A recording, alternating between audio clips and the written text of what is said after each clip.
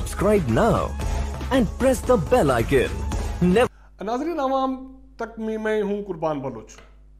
آج وزیراعظم عمران خان صاحب نے وفاقی کابینہ میں اہم تبدیلیاں کی ہیں اور ملک میں جب ایک کورونا والی کی صورتحال ہے اور عوام کے مسائل ہیں، پریشانیاں ہیں، تازہ ترین شوگر ایکسپورٹ اور گندم جو آٹے کا بحران پیدا ہوا تھا ایف آئی کی رپورٹ منظر پہ آئی تھی۔ اس کے بعد کچھ وفاقی وزراء اور ان کے رشتہ داروں کے نام بھی منظر پہ آئے ہیں۔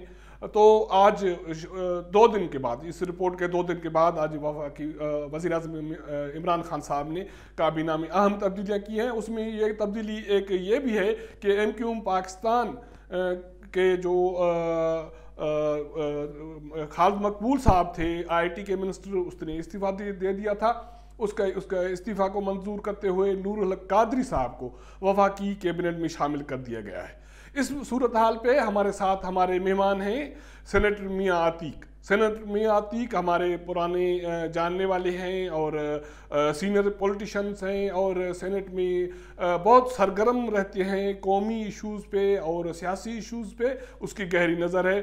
ہم آپ کو سینٹر میں آتیق صاحب خوش آمدید کہتے ہیں عوام تک میں۔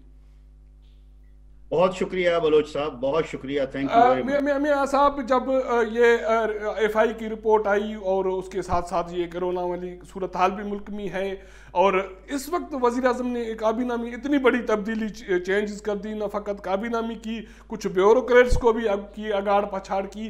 کیا آپ سمجھتے ہیں کہ ابھی یہ صورتحال تھی کہ ایسے فوری طور پہ اقدامات کرنے چاہیے تھے؟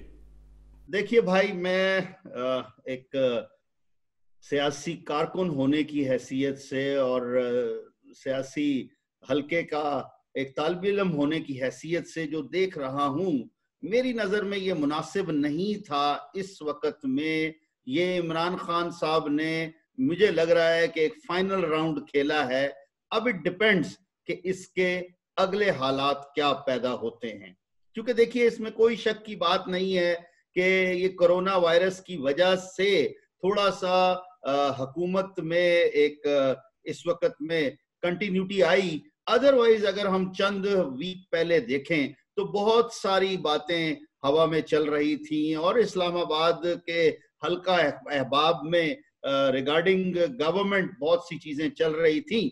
لیکن میں سمجھتا ہوں کہ یہ آج کا جو عمل ہے، کیونکہ یہ سامنے اگر آپ دیکھیے چند دن پہلے سے کہ عمران خان صاحب بہت زیادہ پریشر میں تھے، مختلف چیزوں کے، اور بالخصوص میں نے بھی پچھلے ابھی مارچ کے سٹارٹ میں جب سیشن تھا، تو اس میں با آواز بلند یہ کہا کہ ایف آئی اے نے جو پہلی رپورٹ بھیجی ہے، وہ رپورٹ بھی کیوں آج تک آپ نے نہیں عوام کے سامنے لائے اور سب کو نہیں دکھائی؟ تو اور لوگوں کے بھی یہی موقف تھا، اور اس بات پر یہ بھی بالکل درست ہے کہ اگر دیکھا جائے جس طرح سے عوام سے چینی میں، آٹے میں، مختلف چیزوں میں زیادہ پیسے وصول کیے گئے ہیں اور جو وصول کرنے والے ہیں، وہ عمران خان صاحب خود کہہ چکے ہیں کہ وہ ان کا تعلق ایک مافیا سے ہے۔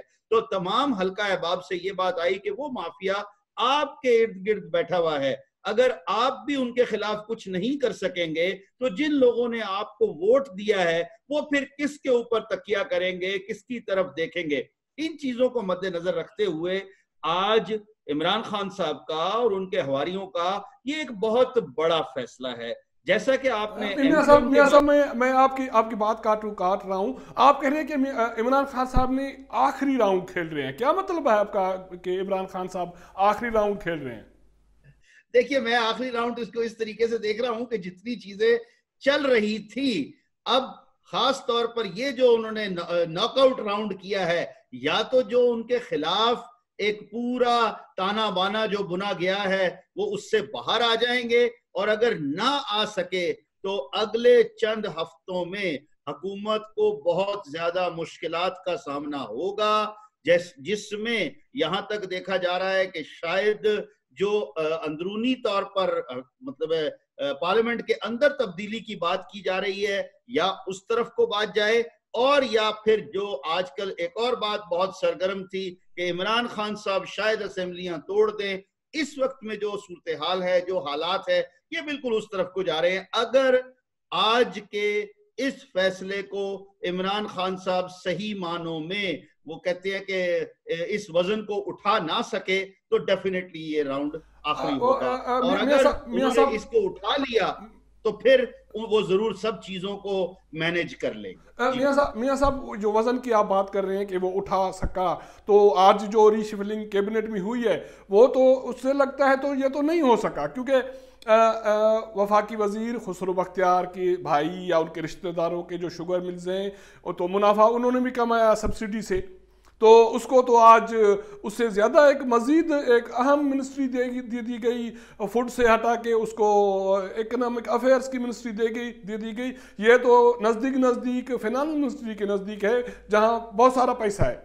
ایک بات اور نہیں بھولنی چاہیے۔ سوری، میں آپ کی بات کاٹ رہا ہوں۔ کہ ابھی تک جو میرے ذرائع ہیں، ان کے کہنے کے مطابق خسرو بختیار صاحب اس بات سے بہت زیادہ انوائڈ ہیں کہ ان کو ہٹایا گیا ہے اور اسی لیے ان کو ایک لکریٹو قسم کی منسٹری دی گئی ہے کہ جس سے ان کو ساتھ رکھا جا سکے۔ میں اسی لیے کہہ رہا ہوں کہ خسرو بختیار صاحب ہی نہیں، یہ جہانگیر ترین صاحب کا جو پورا حلقہ احباب ہے، جس میں پنجاب کے بہت سارے جو انڈیپینڈنٹ لوگ جیت کر آئے تھے، وہ ایک سرکل ہے جو پنجاب گورنمنٹ میں بھی ہیں اور فیڈرل منسٹری میں بھی ہیں۔ تو دیکھنا یہ ہے کہ کیا اس معاملے میں جہانگیر ترین صاحب کوئی نیگیٹیوٹی کریٹ کرتے ہیں یا عمران خان صاحب ساری چیزوں کو ٹیکل کر جاتے ہیں؟ جیسا کہ میں نے کہا، اگر وہ ان سب چیزوں کو ٹیکل کر جاتے ہیں، وہ اور ان کا group other than Jahangir Khan تو تب تو ہم سمجھتے ہیں کہ اگلا دور بہتر ہو جائے گا۔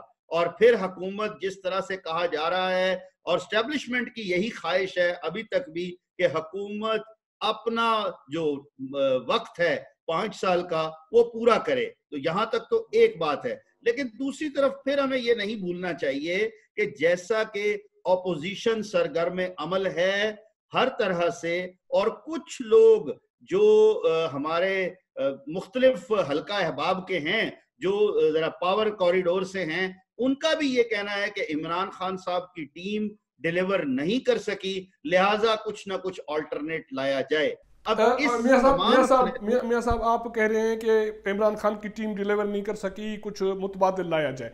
تو M Q M Q Pakistan دوبارہ فیڈرل کیبنٹ میں آ گئی ہے۔ نور الحق قادری صاحب آ گئے خالد مقبول صاحب کی جگہ پہ۔ تو ایم کیو کیسے دیکھ رہی ہے؟ ایم کیو کو کیا ملے گا؟ ایم کیو کیا اپنے ووٹرز کو اس صورتحال میں کوئی ریلیف دے پائے گی؟ دیکھیں میں پھر ذرا اپنا واضح کرتا چلوں بھائی۔ ہمارا موقف آج بھی اپنی جگہ قائم ہے اور وہ یہ ہے کہ عمران خان صاحب نے ہم سے دو وزارتوں کا وعدہ کیا تھا۔ آج بھی ہم کہتے یہ ہیں کہ ہمارے جو ابھی وزارت دی گئی ہے وہ بھی ایک وزارت ہے۔ اور جو ہمارے بیرسٹر فروغ نسیم بھائی ہیں بالکل وہ ہماری پارٹی سے ہیں ان کو پی ٹی آئی نے اپنے کوٹے سے منسٹری دی ہوئی ہے۔ تو آج میں بڑا یہ حیران ہوا کہ جو ایڈوائزر تو آپ کا آپ کا کہنا تھا کہ اور ایک منسٹری آپ پارٹی ایم کیوں پاکستان کی بنتی ہے جی جی ہمارا موقف اپنی جگہ بالکل وہ موجود ہے کہ جو ہماری ایک منسٹری اور رہ رہی ہے، وہ بھی دیا جائے وہ عمران خان۔ اچھا اس کے ساتھ ساتھ دوسری جو چیز ہے کہ جو وعدے عمران خان صاحب نے کراچی والوں کے ساتھ کیے ہیں، جب تک وہ اپنے وعدے عملی طور پر پورا نہیں کریں گے، جن میں ایک وعدہ یہ بھی ہے کہ انہوں نے مہانہ کی بنیاد پر کراچی کو وزٹ کرنا ہے۔ کراچی والوں کو ان کا حق دینا ہے۔ میاں صاحب آپ کہہ رہے ہیں کہ ایک تاثر ہے کہ اس کی ٹیم کام نہیں کر سکی ڈیلیور نہیں کر سکی۔ جب وہ سارے ملک میں ایک حکومت ڈیلیور نہیں کر سکی تو صرف آپ کراچی والے کیا اس سے توقع لگائے بیٹھے ہیں؟ نہیں نہیں نہیں ہم تو دیکھیے کراچی کے معاملے میں جو سب سے بڑی بلوچ صاحب چیز ہے کہ کیوں کراچی والوں کو جو فائنینشل حق ہے جو کراچی کے پروگرام پینڈنگ ہیں for the last many many years ان کو پورا نہیں کیا جا رہا۔ تو میرا، میری تو پرائم منسٹر صاحب سے معدبانہ ایک بار پھر گزارش ہے کہ خدا را کراچی والوں کا خیال کیا جائے اور جتنی جلدی ہو، جو پرومس کراچی، دیکھیے کراچی میں آج کتنے ایم این ایز وہ پی ٹی آئی کے ہیں۔ تو اس لیے کراچی والے ان ایم این ایز کی طرف بھی دیکھ رہے ہیں جن کو انہوں نے ووٹ دیا تھا۔